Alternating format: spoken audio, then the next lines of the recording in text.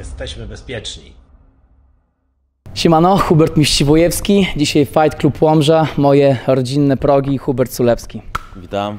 Witam. E, Hubert, kilka dni, dzisiaj jest wtorek, twoja walka w sobotę, FEN, FEN o ile wiem 41 Dokładnie. dokładnie, Damian Rzepecki, ale zaczniemy od początku, waga. E, waga lekka, głównie walczyłeś e, w wadze piórkowej, wiemy, że tam było różnie z tą wagą. Ostatnia twoja walka już była w wadze lekkiej. Waga lekka to jest ta kategoria, w której będziesz walczył, w której już zostajesz? Nawadnianko, słuchajcie, bo jest Tak zbijanie. jest, Przepraszam, nawadniam się. E, tak, znaczy z tą wagą to tak jak, tak jak mówisz, z tą piórkową to też było tak, że waży, walczyłem 66, 67, później były catchweighty.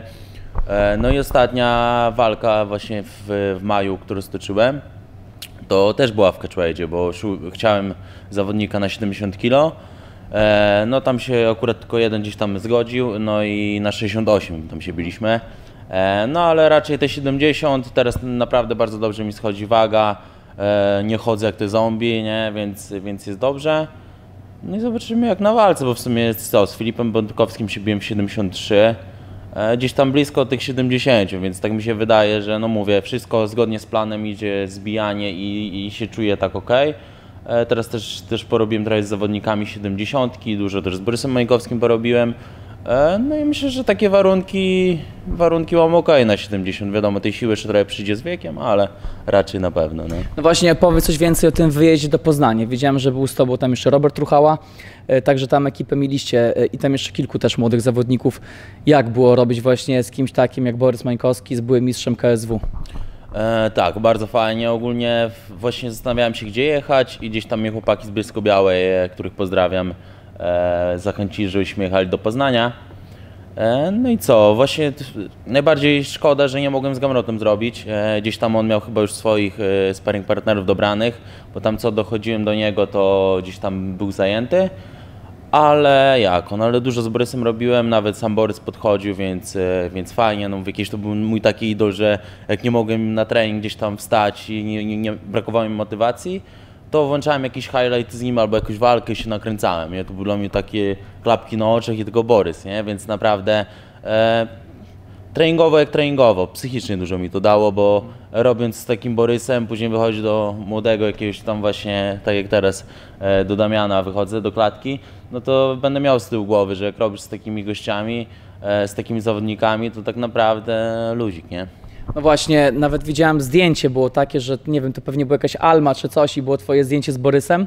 Jak jeszcze byłeś mniejszy, nie wiem, czy wtedy, e, czy wtedy zaczynałeś treningi i teraz zdjęcie z maty, jak to wszystko się zmienia, no nie, że jednak z tym idolem przyszło ci robić.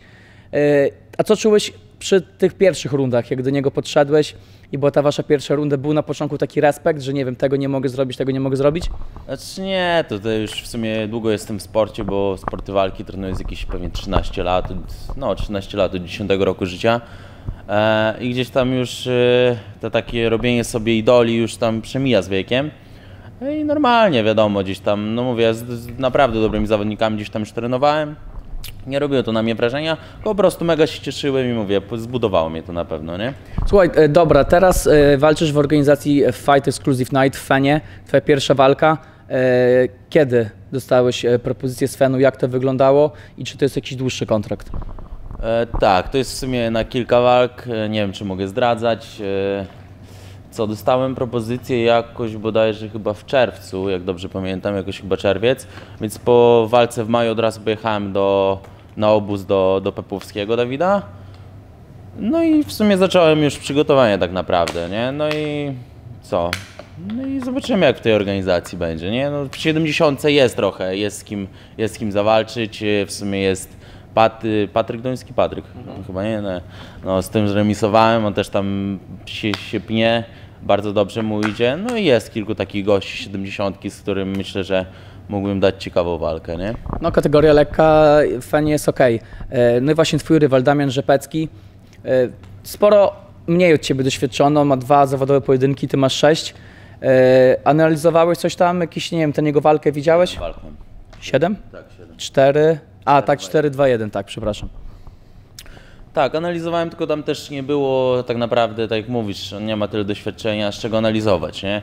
e, bo gdzieś tam te dwie zawodowe e, to w sumie niedawno były. Amatorkę wcześniej, w sumie w 2020 walczył, to widziałem walkę właśnie z Pezdą, z którym przegrał, z którym ja wygrałem. E, gdzieś tam wiadomo, nie jest to, matematycznie się nie zgrywa, ale zawsze gdzieś tam to można zobaczyć, cały, jakie płaszczyzny gdzieś tam mogę przełożyć. Co, gdzieś tam lubi się gdzieś w klinczu, klinczować, e, wymiany też się nie boi.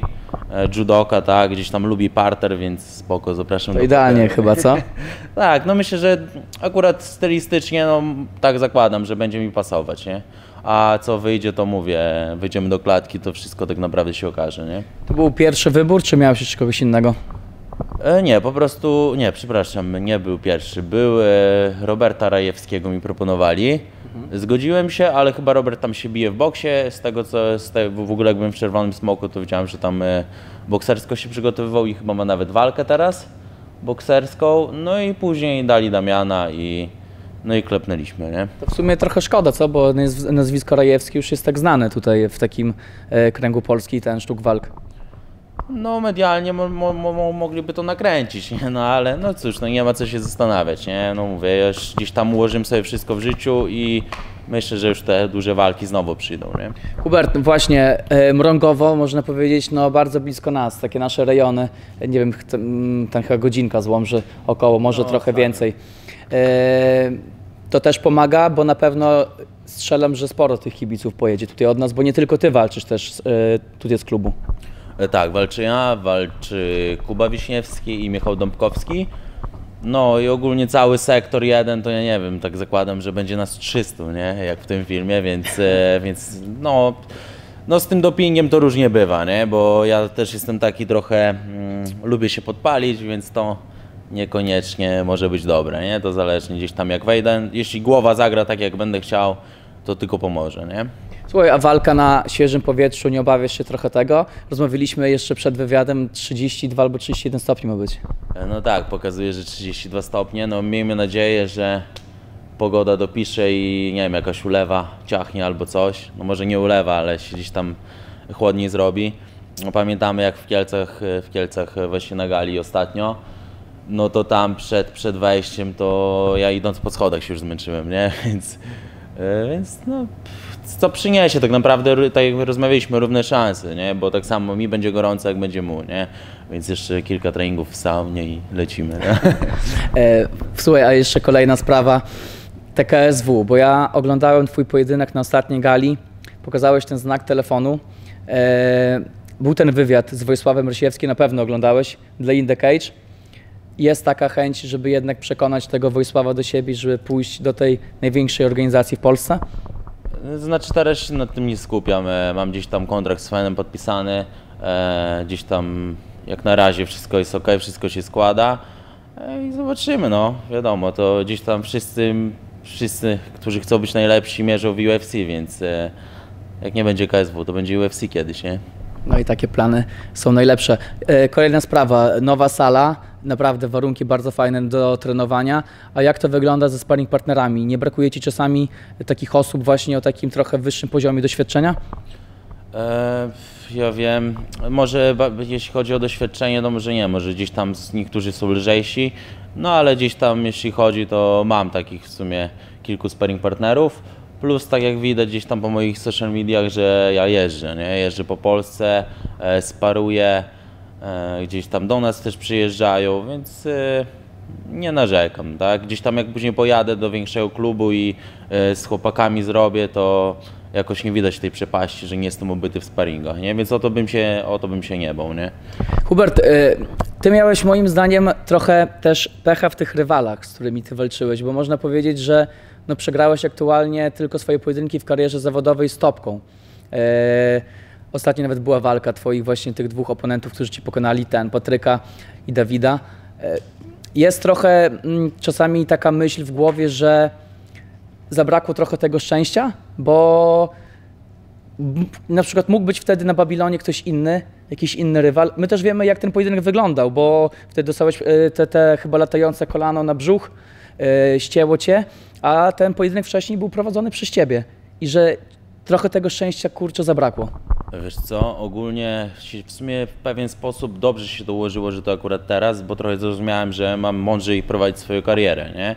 E, bo mówię, no ja na tamten czas byś do mnie zadzwonił, e, zresztą Damian się mnie pytał, czy na wotorek kiedyś chcę zawalczyć. Ja mówię, dobra, dawaj, lecimy, nie? Ja zacząłem worek na, trzaskać z bani, nie? E, więc gdzieś ta nieśmiertelność była. E, i tak zero kalkulacji, nie? A to wiadomo, gdzieś tam jak chcesz się, trzeba powoli, powoli pięterkami wszystko zdobywać. E, I też plus presja gdzieś tam, jak e, walczyłem z Patrykiem, przyszła do mnie pewna osoba i powiedziała, słuchaj Hubert, wygrasz, jesteś w KSW, nie? I wiesz, gdzieś tam w głowie młodego zawodnika to jest, kurde, nie możesz, nie możesz totalnie oddać ani, ani milimetra pola, nie? No i to zrobiło błąd, nie? Bo tak naprawdę ja muszę, mam się cieszyć z tej walki, gdzieś tam wejść, kurde, po to trenuję, a nie, że się spinać co jeśli to, co jeśli tamto, nie? Więc e, mówię, gdzieś tam teraz skład mam większy, e, fizjo, przygotowanie motoryczne, gdzieś tam pod, psy- pod, jeśli chodzi psychologicznie, bardziej się gdzieś tam doszkoliłem. E, I myślę, że to wszystko dobrze się przyłożyło, że teraz naprawdę wystrzelę do góry. Nie? No niestety ta top mi odeszło gdzieś tam do przodu, ale spokojnie, powoli. No właśnie, ale jak patrzysz, nawet patrzyłeś ostatnio na ten pojedynek, e, twoje starcie z Dawidem to też było, że ty go obaliłeś i pamiętam, były te ciosy na łydkę i masz coś takiego, że wiadomo, oni są w KSW, ale że jednak tym poziomem nie odstajesz od nich. Nie, nie, no myślę, ja mówię, gdzieś tam jeśli by się dobra oferta trafiła z innej organizacji na 66, to też jest to do przemyślenia, bo bym zrobił tą wagę, e, tak jak, się, te- jak to się teraz prowadzę. E, I myślę, że myślę, że tam bym ich załadował na czosnek, nie? No właśnie, a jak to jest z tym prowadzeniem? Bo ja pamiętam, jak jeszcze wstawiałeś kiedyś e, zdjęcia, że ty ważyłeś nawet ponad 8 dych. A jak to wygląda teraz? Trochę lepiej trzymasz tą michę, czy jakieś kebaby wlatują dalej? E, ogólnie w roztrenowaniu wiadomo, gdzieś tam nie, nie, nie odpuszczam sobie, e, próbuję różnych kuchni świata, nie? Ale ogólnie teraz jak mam catering, e, dietę od brokuła, to gdzieś tam 180-80 z hakiem waży na co dzień, nie? Gdzie ja się dość ulewam, więc tego tłuszczu tam zbić to tak naprawdę, na, naprawdę luz, nie? Wtedy na 68 robiłem, to czułem, że jakbym wcześniej zaczął zbijać, to 66 bym zrobił, nie? Więc mówię, jeśli będzie propozycja za jakiś czas, to 66 jak najbardziej, nie? To co, uważasz, że na ten moment, na ten moment taki twój psychiczny, e, którym jesteś, o którym mówisz, e, wydaje się, że ta organizacja FAN jest takim idealnym elementem na ten moment. E, Myślę, że tak, no jest tam, no mówię, naprawdę ogrom, tak w, sie- w 70 to można było fajną listę zrobić, nie? No, tam, Takich tak, zawodników, tam, jeśli chodzi, że, że, że gdzieś tam zostali, więc jeśli oni tam są... Wojtek czyli- Kawa też chyba jest w podobnym wieku do ciebie i on chyba też w 70 się bije z tego co... Dokładnie, więc y, jest tam takich zawodników i oni w sumie dalej siedzą w tej organizacji, czyli coś musi być na rzeczy, nie? Paweł Jóźwiak podobno ma tyle siana, że wiesz, to jest masakra. No zobaczymy, zobaczymy. Jak będą cyferki na koncie, to wtedy potwierdzę, no. Ostatnie pytanie. E, słuchaj, nie myślałeś kiedyś, żeby na dłużej gdzieś się wybrać do jakiegoś klubu, żeby spróbować czegoś innego, zmienić to otoczenie nie tylko na jakiś obóz treningowy, tylko, bo dużo osób tak robi, że załóżmy są w, e, w mniejszych miastach, jak my, e, trenują, ale później na jakimś etapie tej kariery, no, gdzieś idą, nie wiem, którzy osób właśnie wybiera Warszawę, Poznań, Radom. Ogólnie kiedyś moim marzeniem było się przeprowadzić do Poznania e, i gdzieś tam pewnie do Poznania wyjadę na jakiś czas. No zobaczymy po tej walce.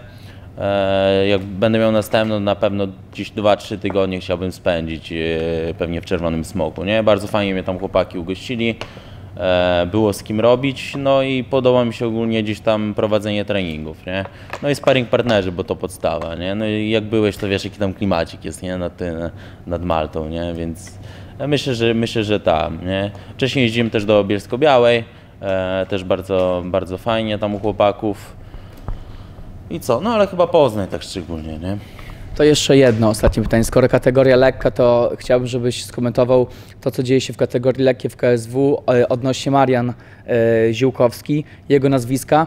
No nie ma na razie mocnego na niego. Wydaje ci się, że jest ktoś, kto mógłby mu zagrozić. Tam było bliskie starcie e, i z Borysem, i z Sepkiem, ale jednak to zawsze Marian wyszedł zwycięsko. E, tak, no kurde, właśnie prosta gra Mariana robi robotę, nie? Właśnie te proste gdzieś tam. Każdy wie, co on będzie robił, on to robi i jakoś nikt nie potrafi temu się przeciwstawić, nie? Dokładnie, więc ciężko w 70. Jesteś tam nowy w 70, nie kojarzę, żeby. żeby, żeby... No ten e, Elias teraz ma dw- dwie wygrane, teraz wygrał z Hubertem Szymajdą, wczoraj, e, wcześniej też z kimś wygrał. No ale dalej mi się wydaje, że to... Zawalczyć. Tak, ale Marian mówi, że chce iść do 6-6 i też mi się wydaje, że to Marian ma trochę racji, bo w sumie Parnas obronił teraz ten pas tylko raz, a Marian już go obronił kilka razy, więc to w sumie Marian mógłby być double champem, a nie, a nie Saladino. No wczoraj oglądałem właśnie wywiad z, z tym, z Mateuszem Gamrotem, to miał zadane ciekawe pytanie, że jak Gamrot uciekł, uciekł do UFC, to Saladin dopiero chce walkę z Marianem, nie? Więc tak naprawdę, no nie wiem, może mu się wydaje, że to będzie łatwy rywal, ale chyba wszyscy tak myślą, jak wychodzę do niego do walki, a kończy się jak kończy, nie? Więc no ciężko mi powiedzieć, czy ktoś jest na 70 tak... E, no ja mocno mu kibicuję, kiedyś z nim sparowałem, bardzo fajny gość, nie? Fajny gość, Marian naprawdę bardzo w porządku. Dobra, Hubert, co, dziękuję bardzo. Trzymamy kciuki, będę na gali, będę kibicował. E, mocno wagę tylko zrób, ale raczej z tym już problemu nie będzie. Niewiele zostało, naprawdę dobrze teraz idzie, mówię. Tak naprawdę pewnie z jedno, dwie sauny zrobię luźne i, i zejdzie, nie? Więc jest ok. Dzięki Pozdro. wielkie. Dziękuję. Pozdrawiam. Na razie. A i słuchajcie, jak ktoś ogląda wywiad z Łomży, to wpadajcie Fight Club Łomża, ulica Mickiewicza. Ile? Cztery. Cztery, naprawdę, słuchajcie, no jest fajna nowa sala. Jak ktoś kiedyś chodził tutaj na siłkę HSF, no to wie, gdzie jest klima, także jest fajnie. Pozdro, trzymajcie się.